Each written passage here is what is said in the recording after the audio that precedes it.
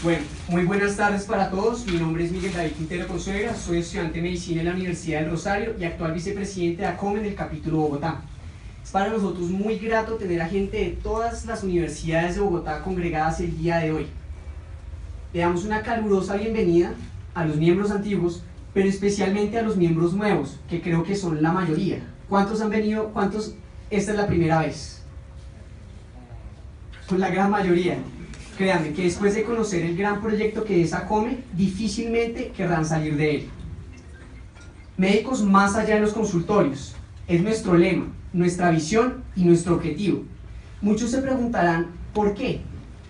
Si, si nos ponemos a pensar en cómo se da nuestra formación como médicos, son seis arduos años aprendiendo patologías, aprendiendo métodos diagnósticos y aprendiendo tratamientos de diferentes enfermedades. Sin embargo, se nos olvida con frecuencia que la salud es algo mucho más complejo que la ausencia de la enfermedad. La OMS define salud como un estado de bienestar físico, mental, social, no solamente ausencia de enfermedad. Sin embargo, nos enfocamos tanto en la última que nos olvidamos de los otros parámetros importantes de la salud. ¿Recuerdan qué dijo cada uno de ustedes cuando ingresó a la universidad de por qué quería estudiar medicina en primer semestre? ¿Recuerdan qué dijeron en esa entrevista? Para salvar vidas, para ayudar a la gente, para poder curar enfermedades. Lastimosamente a lo largo de nuestra carrera ya muchos hemos vivido que muchos docentes, muchos doctores truncan ese sueño. Nos dicen, ustedes pocas veces van a curar un paciente, rara vez van a salvar una vida. Y esto es parcialmente cierto si consideramos a la salud como la ausencia de enfermedad. Pero esta, como lo dije previamente, es mucho más compleja. ¿O ustedes consideran que es suficiente diagnosticar en su consultorio un cáncer de seno sin saber cuándo la paciente va a tener la radioterapia o la quimioterapia? ¿Realmente están promoviendo salud o solo diagnosticando una enfermedad?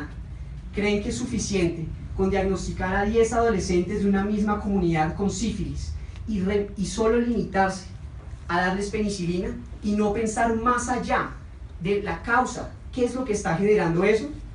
Nosotros antes que curanderos somos gestores de salud.